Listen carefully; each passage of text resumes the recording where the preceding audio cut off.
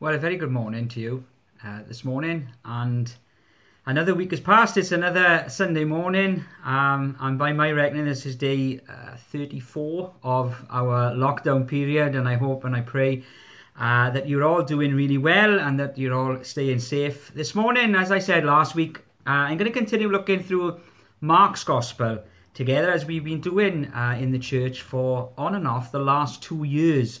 Uh, now, last week we looked at a request that uh, the two disciples, two brothers, James and John, had for Jesus as they were going towards Jerusalem. They took him to one side and said, Look, Lord, can we have the top positions, the top jobs when you come into your kingdom? And we talked about Jesus' reaction to that last week. So this week I want us to look at the next few verses down in Mark chapter 10. That's Mark 10, verses 41 to 45. Mark 10 41 says this And when the ten heard it, they began to be greatly displeased with James and John. But Jesus called them to himself and said to them, You know that those who are considered rulers over the Gentiles lord it over them, and their great ones exercise authority over them. Yet it shall not be so among you. But whoever desires to be great among you shall be your servant and whoever of you desires to be first shall be slaves of all. For even the Son of Man did not come to be served, but to serve, and to give his life as a ransom for many.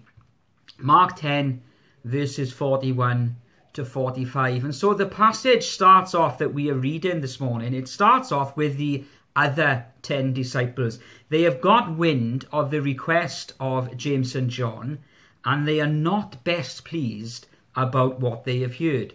And so an argument erupts between all of the, the, te- the 12 disciples, the 10 on one side, James and John on the other. And the disciples are saying to them, How dare you? How dare you go behind our backs? How dare you go to him privately? How dare you think yourself as something greater than me? Something greater than the rest of us. And you can imagine sort of the individual disciples, Matthew or Peter or Andrew, saying to James and John, Well, if anyone is deserving of a top job, why should it be you?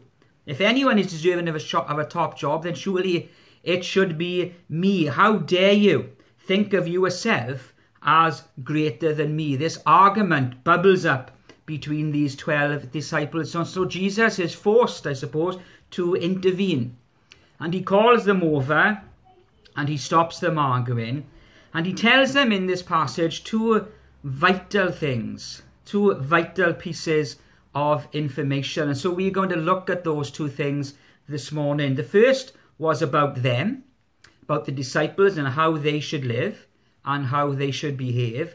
And the second was about Jesus and what he was going to do and what his plan and purposes were. Two things that Jesus says to his disciples in this passage, both of great importance, both vital, both important to you and me. And so we're going to have a look at them in order for the next few moments this morning. And so, number one, then, the instruction that Jesus gives to his disciples an instruction for these 12 individuals on how they should live and on how they should behave. But an instruction not just for followers of Jesus 2,000 years ago, but that, that is just as relevant for followers of Jesus today, for you and me, as we seek to live for Him, as we seek to, to follow Him, then we can take this personally for us this morning.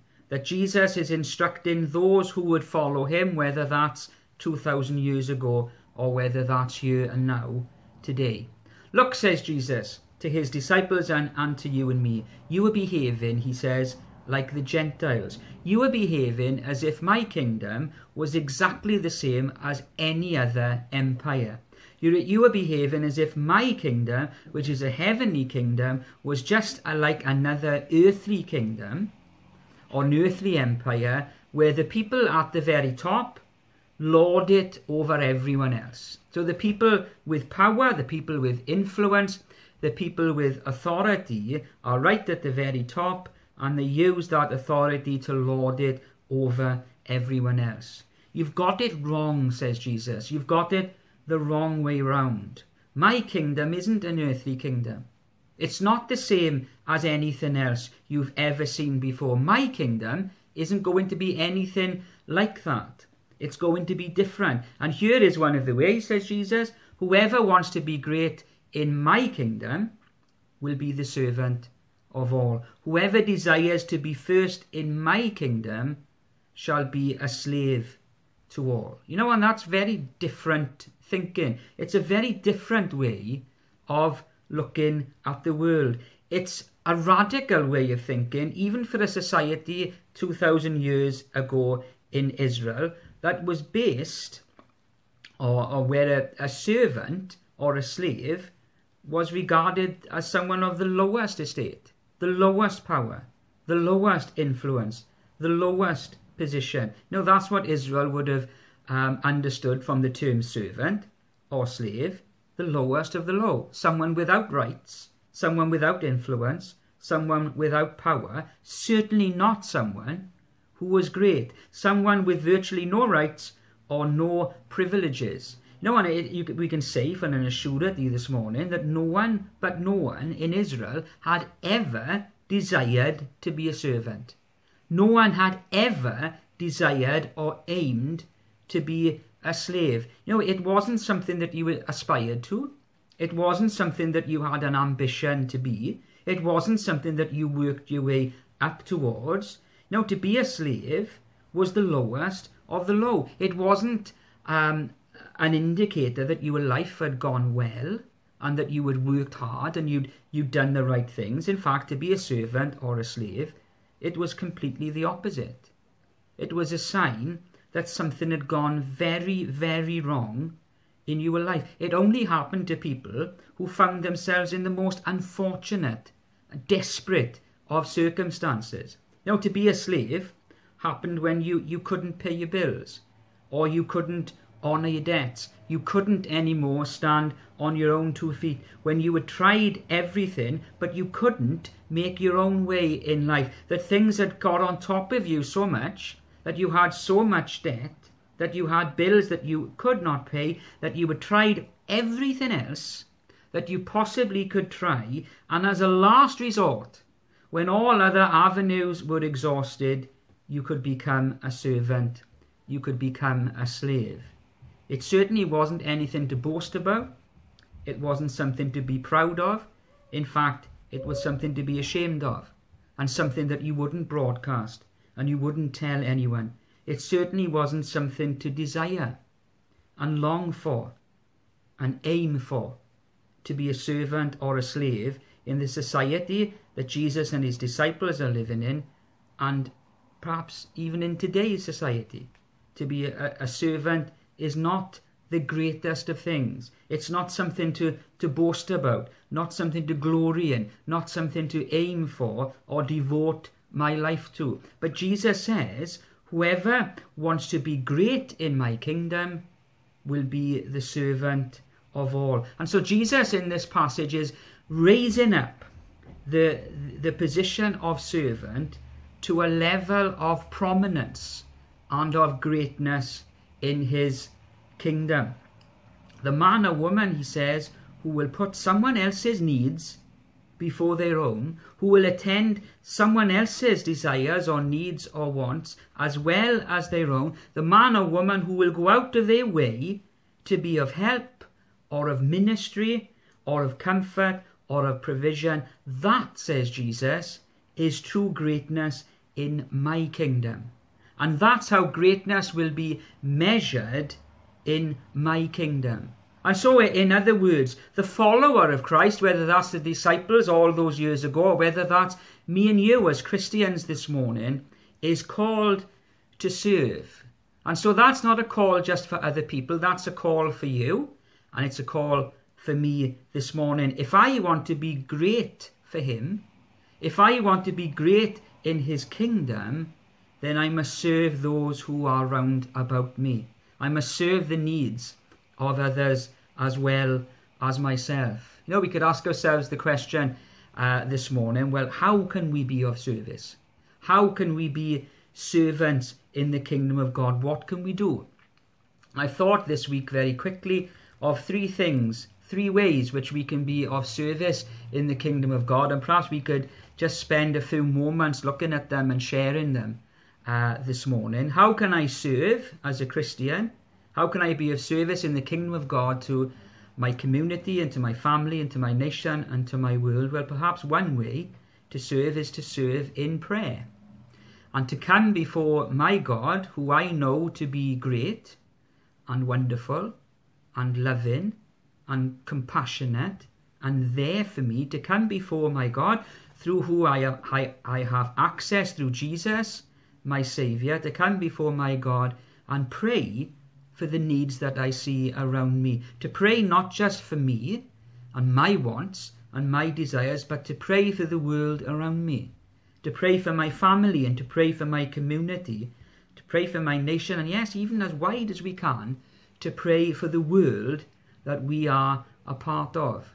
You know, in this crisis that we are going through, not just as a, a nation, but as a world this morning, you know, it, it has given us that impetus, I suppose, and that encouragement to go before God and bring the needs of a whole world before Him. To think about the suffering not just of me or, or of my locality, but of the whole world. And come before a, God on behalf of the needs of so many other people. You know, we, we have such a privilege this morning as Christians.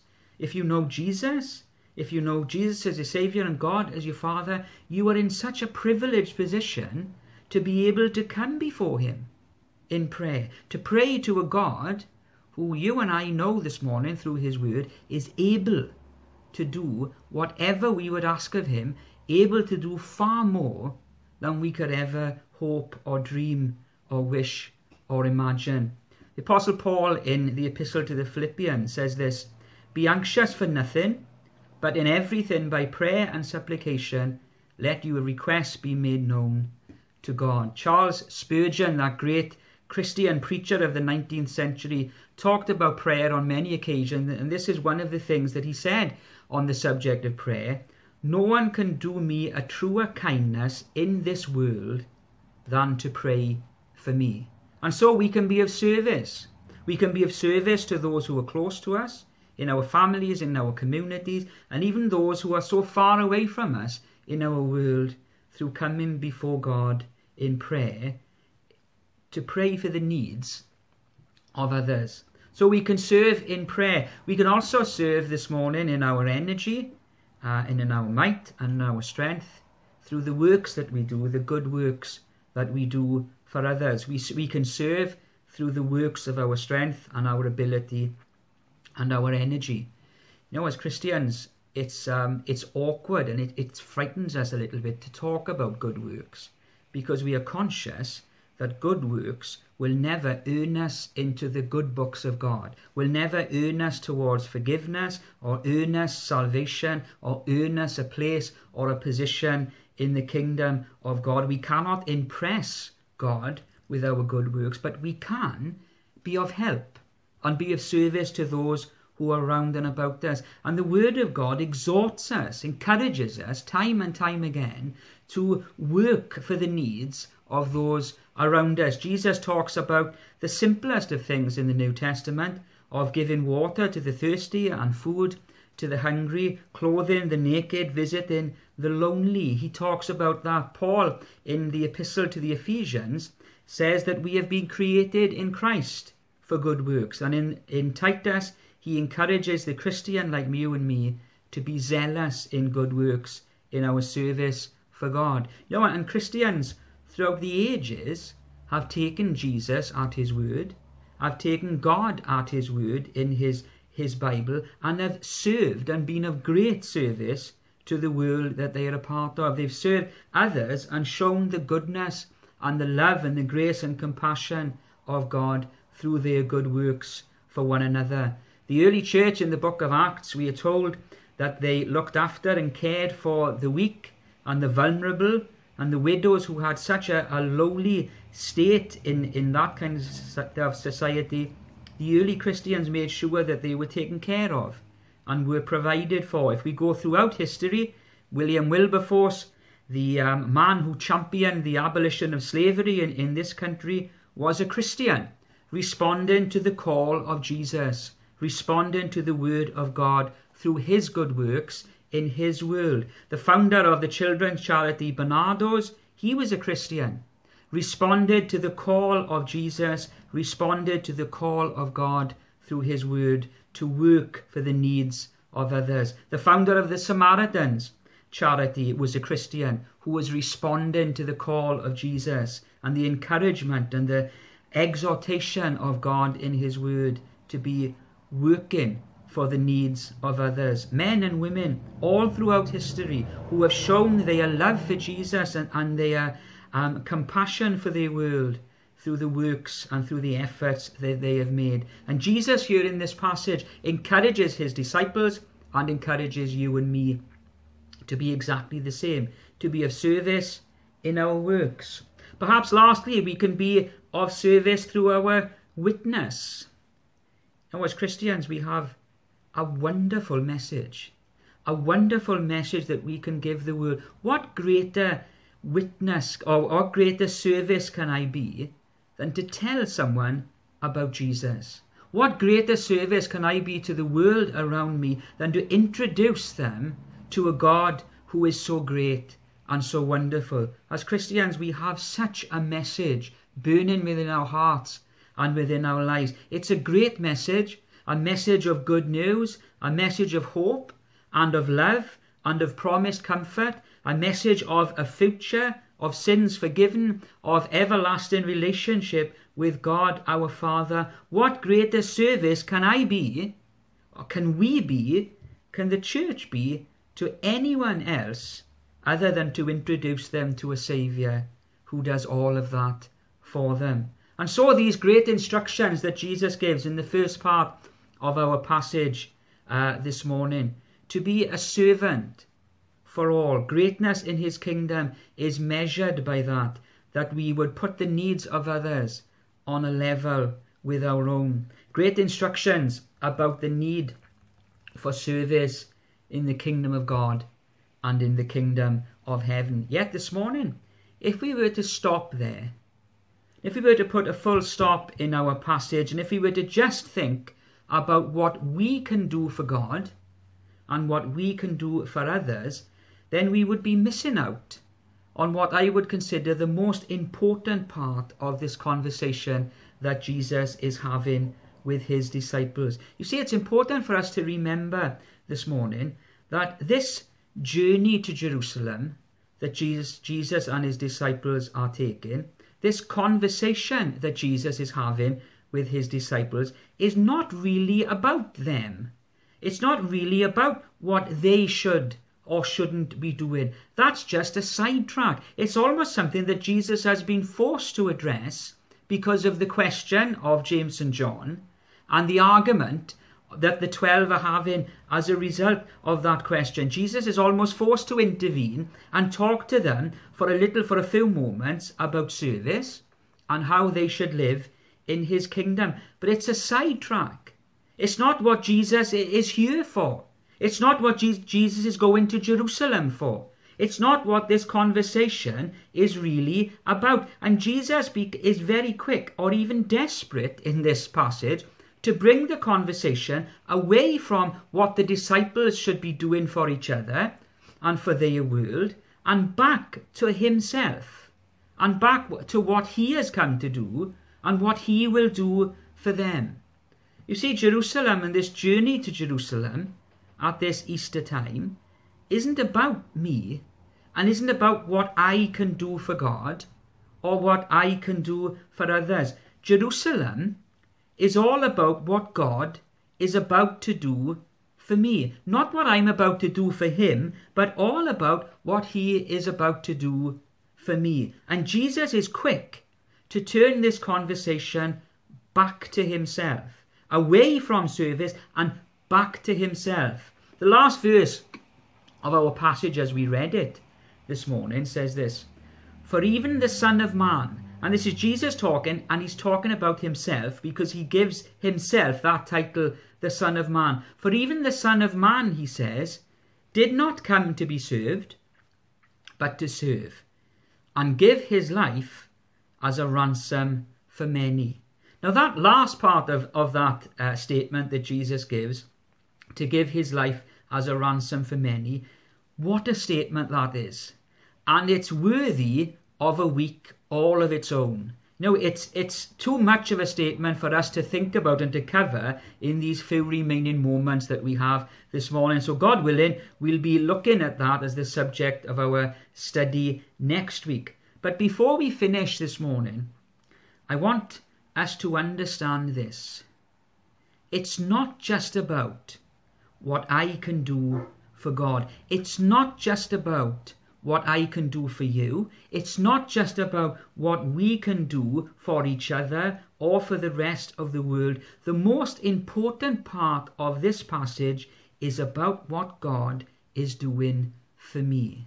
And it's important for us to understand that. Yes, service to each other is of vital importance. Service to the world is of vital importance. But don't miss the greatest of things about this passage is what God is doing for me. What God has come to do for you, what God has come to do for the world. You see, Jesus in this passage, he, he's telling us he hasn't come just to tell me how to live. No, as important as that is, that Christ hasn't come just to give me an example of how I should behave or how I should live, although he does that and he does that wonderfully well. But this passage is a reminder to you and me that Jesus has come to serve, that he's come to serve me, and he's come to serve you. He's come as a servant himself. He's come to do something, not for himself, but for others. He's come to meet the needs of others, to meet my needs and your needs and the needs of the whole world. He He's come to lower himself. He is Jesus, the Son of God, King of kings and Lord of lords. Yet he tells us in this passage he has come to lower himself to the lowest of positions, to a position of servanthood, and even as a slave. He's come to be a servant to the world, a servant for me, to suffer for me, to die for me, to pay for my sins, to take upon himself the punishment that was mine. It's the most important part of this wonderful passage. And if I miss out on it, I'm missing out on the greatest of things that he has come to tell me. You see, this morning I could be great at service. You know, we, we, I could think of, of Jesus encouraging me to be a servant of all and the slave of all, and I could think, Lord, I'm going to take you at your word this morning, and I'm going to put all my energy and all my strength into serving the needs of others. And I could put others before me in, in each and every aspect of my life, and I could be great at it. And I could be a Wilberforce of my day or a Barnardo of my day. But if I did that, I would still be in need of a Saviour. And if I did that, I would still be a slave to sin. I would still be a slave to the chains of sin that so easily ensnare. If I did all that, it was the greatest servant that I could ever be. I would still be far away this morning from the love of God and the family of God and the future that He promises in His Word. I still need someone to do something for me. I still need someone to be my servant and to do something on my behalf. And here in this wonderful passage, God Himself offers to do just that. Jesus Himself says to you and me, I'll be your servant. That's why I've come. I've come not to be served, but to be a servant myself. Now, what a wonder that is. And what a joy that is that God Himself has come to where we are, has lowered Himself to the, the lowest position to become a servant for me and a servant for you, a servant for the whole of the world. What a sight that is this morning. My Saviour on his way to Jerusalem to die for me, to die in my place, to serve me in my darkest hour of need. What a wonder and what a sight. now as we come to a close this morning, really hope that you are enjoying these uh, studies that we have, that we are doing together on a, a, Sunday morning. It's a way perhaps of staying in touch a little bit at these strange times when we're not able to meet uh, physically together. I've also put them on um, on YouTube. So if you know of anyone who is struggling to access uh, the messages on on Facebook, then you can tell them that if they go to YouTube and search for Bethel Bush, they should be able to access everything that we've um, we've talked about up to now. So have a, a lovely week. God be with you and watch over you. For his name's sake. Amen.